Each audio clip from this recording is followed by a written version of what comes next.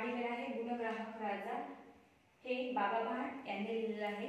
यामध्ये गजानन आणि काळू हे दोन मुलं सूरपारंब्याचा खेळ खेळत असतात. त्यातील जो महाराज असतात राजा असतात त्यांच्या तिथे गुण ओळखतात आणि रायनी साहेबांना सुद्धा त्यांचा खेळ दाखवतात. ओके? तर चला बघूया.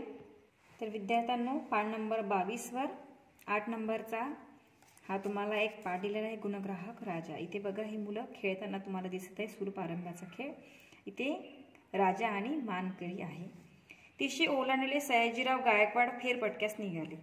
हे ते राजा यांचे वयाचे तीस वर्ष कंप्लीट झाले होते. ते एकदा फेरपटक्यास निघाले. बरोबर मानकरी नारायणराव घाटगे होते आणि हे त्यांचे मानकरी त्यांच्यासोबत होते. एवढ्यात मुलांचा हसण्याचा खेळण्याचा आवाज ऐकू आला. महाराजांनी घोडा थांबविला आवाजाच्या दिशेने पाहिलं. मग त्यांनी घोडा थांबविला त्यांना मुलांचा आवाज खेळण्याचा आवाज ऐकायला आला त्यांनी त्या मुलांकडे बघितलं. तिथे एक वडाचं झाड होतं एक पोरगा माकडासारखा उड्या मारत खोडावर चढला दुसरा पोरगा त्याच्या पाठलाग करत होता. एक मुलगा माकडासारखा कुठे चढला? खोडावर चढला आणि एक मुलगा त्याचा काय करत होता? पाठलाग करत होता.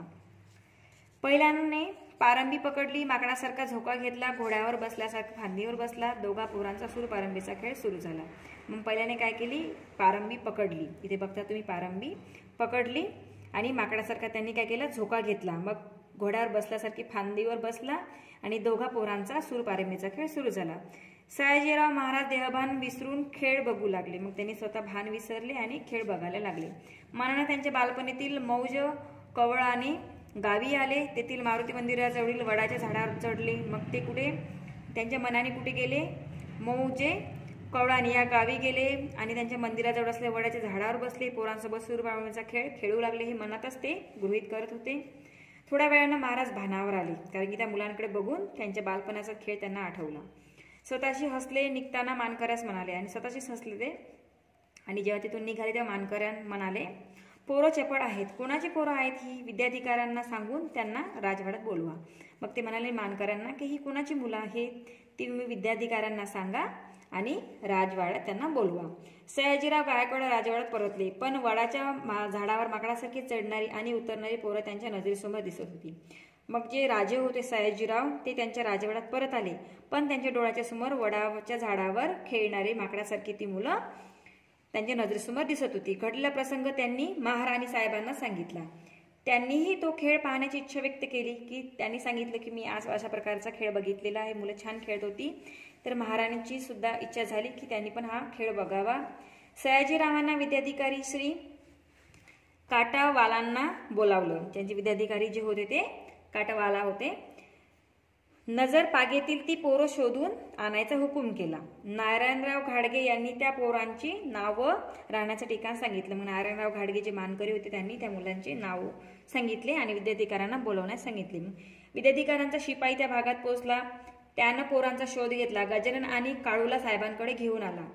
झाडावर चढण्याचा तुमचा खेळ बघून महाराज खुश झाले. हा खेळ महाराज साहेबांना पाहायचं उद्या तिसऱ्या प्रहरी तुम्ही दोघे राजवाड्यात या विद्याधिकारी म्हणाले. मग ते विद्याधिकारी होते त्यांनी म्हणाले की तुमच्या मुलांचा खेळ फार सुंदर होता हे बघून महाराज खुश झालेले आहे.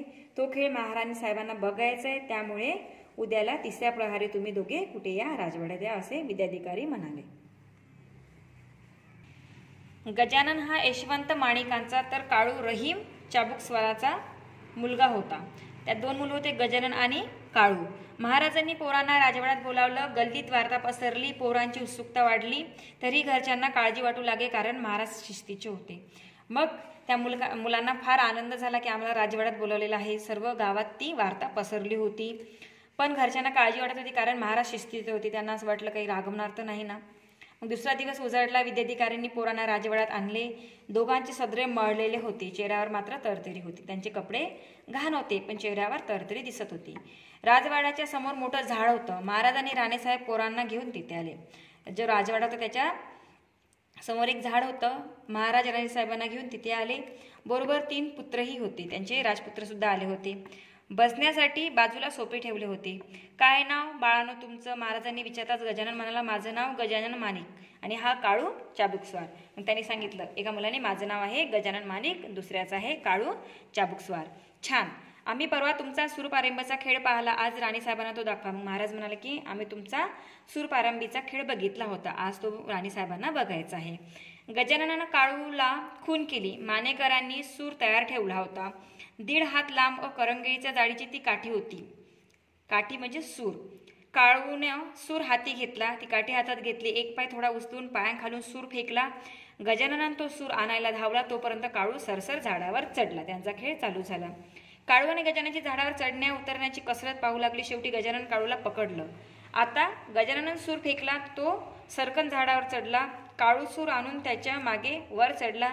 गजानन फांदीच्या टोकावर जाऊन लटकला. काळू जवळ येताच त्यानं जमिनीवर उडी मारली पुन्हा तो खोडावर चढला. असा त्यांचा सूरपारंब्याचा खेळ चालू झाला. गजाननाला बाद करणं काळूला काही जमेना दोन्ही पोरं धावपळीने घामाघूम झाली तेव्हा महाराजांनी खेळ थांबवला. दोघांना जवळ बोलावला आणि खुशीत त्यांची पाठ ठोपटत ते म्हणाले छान खेळलात. खेळात हारजीत महत्वाची नाही आहे खेळणं महत्वाचं आहे. आम्ही तुम्हाला बक्षीस देणार आहोत. मग राज्यांनी काय केलं? त्यांचा खेळ थांबवला कारण ती घामाघूम झाली होती. ठीक आहे. तर त्या दोघांना जवळ बोलून त्यांची पाठ ठोपलं. ते म्हणाले की तुम्ही फार छान खेळले. खेळण्यामध्ये हार जीत हे महत्त्वाचं नाही. तर तुम्ही खेळणं जे खेळता ते महत्त्वाचं आहे. आम्ही तुम्हाला बक्षीस देणार आहोत असे राजा म्हणाले. महाराजांनी घाडग्यांना खून केली. एका तबकात जरीचे दोन टोप्या होत्या. त्यांनी गजाननाला जवळ बोलावलं. तू हरला नाहीस म्हणून ही भरजरी टोपी तुला बक्षीस अशी राजांनी त्यांना दिलेली आहे. असं म्हणून त्यांनी त्यांच्या डोक्यावर टोपी ठेवली. काळूकडे वळत राणीसाहेब म्हणाला हा जो काळू होता इथे तुम्हाला दिसते. तू पाठलाग छान केलास म्हणून तुलाही जरीची टोपी बक्षीस देत आहे. मग याने सुद्धा एक जरीची टोपी त्यांना दिली. तुमचा खेळ पाहताना आम्हाला आनंद झाला. एवढंच नाही तर आम्ही खेळत आहोत असा अनुभव सुद्धा आम्ही घेतला. असे महाराज आणि महाराणी साहेब म्हणत होत्या. महाराज म्हणाले त्यांनी पोरांना बसवलं मिठाई खाऊ घातली पोरं घोडागाडीतून घरी परतली. त्यांच्या खेळाची आणि टोपीची गोष्ट मोहल्लाभर पसरली. मग त्या मुलांना घोडागा घोडागाडीतून घरी परतवले. त्यांचे खेळण्याचे आणि त्यांना जी टोपी बक्षीस मिळाली त्याची गोष्ट मोहल्लाभर पसरली. गजाननच्या शाळेत वार्षिक समारंभ होता. महाराजाचं बक्षीस समारासाठी आले होते. एक पोरगा पुन्हा पुन्हा वेगवेगळे बक्षीस घेण्यासाठी येऊ लागला. अभ्यासात चित्रकलेत एवढं काय हस्ताक्षर स्पर्धेत तोच होता. अठरा बक्षिसं त्या पोराने घेतली. महाराजांनी या गजानन मानिकाला ओळखलं. त्याला बघून आनंद त्यांना आनंद झाला. ते म्हणाले बघू तुझं हस्ताक्षर. तर तेव्हा गजाननच्या शाळेत काय होतं? बक्षीस समारंभ होता. तेव्हा महाराजांना पाहुणे म्हणून बोलावले होते.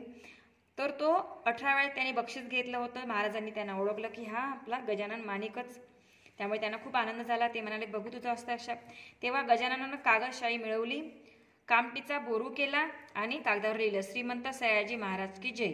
महाराजांनी त्याला जरीची टोपी पुन्हा परत एक बक्षीस दिली विद्याधीराकडे वळून म्हणाले पोरगा गुणी आहे त्याच्याकडे लक्ष द्या. उद्याचं हे बडोद्याचं रत्न आहे. हाच मुलगा पुढे बडोद्याचं राजरत्न म्हणजेच गजानन माणिकराव झाला. तर बघा बोरू म्हणजेच बांबूपासून तयार केलेली एक लेखणी असतं. लेखणीने त्याने श्रीमंत सयाजी महाराज की जय हे सुंदर हस्ताक्षरामध्ये लिहिलं. ते बघून महाराज प्रसन्न झाले. त्यांनी तेव्हाच परत एक जरीची टोपी बक्षीस दिली. आणि तिथले विद्यार्थी काय म्हणजे जे शिक्षक होते त्यांना म्हणाले पोरगा काय आहे गुणी आहे त्याच्याकडे लक्ष द्या. उद्या हे काय होणार बडोद्याचं एक रत्न होणार आहे. म्हणजे बडोदा गावाचं एक रत्न होणार आहे. तर तेव्हाच पुढे हा मुलगा जो होता तो गजानन माणिकराव झाला. बडोदा येथे तिथले राजरत्न ते ठरले. तर विद्यार्थ्यांनो हा पाठ मी तुम्हाला शिकवलेला आहे. व्यवस्थित वाचन करायचं आहे. त्यानंतर इथे जे शब्द दिले शब्द तुम्हाला नोटबुकमध्ये लिहायचे आहे नंतर स्वाध्याय सोडवायचा आहे. एका वाक्यात उत्तर लिहा. मुले कोणता खेळ खेळत होती? तुम्हाला उत्तर लिहायचं आहे. मुले सूर्यपारंब्याचा खेळ खेळत होती. महाराजांनी गजाननाला कोणते बक्षीस दिले? उत्तरमध्ये लिहायचे महाराजांनी गजाननाला भरजरीची टोपी बक्षीस दिले. गजाननाने कागदावर बोरूने काय लिहिले? तर उत्तरामध्ये तुम्हाला लिहायचं आहे. गजाननाने कागदावर श्रीमंत सयाजी महाराज की जय असे लिहिले. गाळलेल्या जागी योग्य शब्द लिहा. थोड्याच वेळानं महाराज भानावर आले. ते भानावर शब्द लिहायचा आहे. पोरं घोडा गाडीतून घरी परतली. ते घोडा गाडी हा शब्द लिहायचा आहे. बघू तुझं हस्ताक्षर. इथे हस्ताक्षर हा शब्द लिहायचा आहे. कोण कोणाला म्हणाले? लिहायचं आहे. पोरं चपळ आहेत. विद्याधिकारा सांगून त्यांना राजवाड्यात बोलवा. हे महाराजांनी मानकऱ्यास म्हणाले. झाडावर चढण्याचा तुमचा खेळ बघून महाराज खुश झाले आहे. तर उत्तरमध्ये लिहायचे विद्याधिकारी साहेबांनी त्यांच्या आईवडिलाला म्हणाले काय नाव बाळानं तुमचं? महाराज मुलांना म्हणाले पोरगा गुणी आहे त्याच्याकडे लक्ष द्या उद्याचं हे बडोदाचं रत्न आहे तर असे उद्गार महाराज महाराजांनी विद्याधिकाऱ्यांना म्हणाले. थोडक्यात उत्तर लिहा. मुलांनी राणेसाहेबांना सूरपारंबीचा खेळ कसा दाखविला? तर उत्तरामध्ये तुम्हाला लिहायचं आहे. काळूनं सूर हाती घेतला एक पाय थोडा उचलून पायाखालून सूर दूर फेकला गजानन तो सूर आणायला धावला. तोपर्यंत काळू सरसर झाडावर चढला. काळूने गजाननची झाडावर चढण्या उतरण्याची कसरत सुरू झाली. शेवटी गजानन काळूला पकडलं. आता गजानन सूर फेकला आणि तो सरकन झाडावर चढला. काळू सूर आणून त्याच्या मागेवर चढला. गजानन फांदीच्या टोक्यावर जाऊन लटकला. काळू जवळ येताच त्याने जमिनीवर उडी मारली. पुन्हा तो खोडावर चढला. अशा प्रकारचा खेळ मुलांनी राणेसाहेबांना दाखविला. गजाननने कशा कशात बक्षिसे मिळावली तुम्हाला इथे उत्तर लिहायचं आहे गजाननाने अभ्यासात चित्रकलेत हस्ताक्षर स्पर्धेत अठरा बक्षिसे मिळवली. खाली वाक्यातील सूर्य शब्दाचे वेगळे अर्थ लिहायचे. सूर्य शब्दाचे आपल्याला वेगळे अर्थ लिहायचे. अ. काळूने सूर दूर फेकला. इथे सूर लिहाय सूर म्हणजेच काठी लिहायचं आहे नंतर आज गाण्यामध्ये खान साहेबांचा सूर भन्नाट लागला होता. सूर म्हणजे स्वर लिहायचं इथे. एक दोन तीन असे मनात मुलांनी पाण्यात सूर मारला. म्हणजेच उडी मारली. ते उडी लिहायचं आहे नंतर प्रश्न सहा. खालील वाक्यांमधील रंगीत शब्दांचे योग्य अर्थ लिहायचे. कुणासमोरही हार न मानणाऱ्या पैलवानाचा हार घालून सत्कार करण्यात आला. इथे हार म्हणजे पराभूर लिहायचा आहे आणि हार म्हणजे फुलांची माळ. सरपंच झाल्यापासून सरोजाला साऱ्या गावाकडून मान मिळू लागला. तिचा नवरा देखील आता टाट मान करून फिरतो. इथे मान म्हणजेच मान सम्मान आणि मान म्हणजेच शरीराचा एक अवयव. हातात तीर कमान घेऊन झिंगरूने नदीचा तीर काढला. इथे तुम्हाला तीर म्हणजेच बाण लिहायचं आहे आणि तीर म्हणजेच नदीचा काठ लिहायचा आहे खळखळ वाहणारा पाटाचं पाणी पाहू देवजी परतला.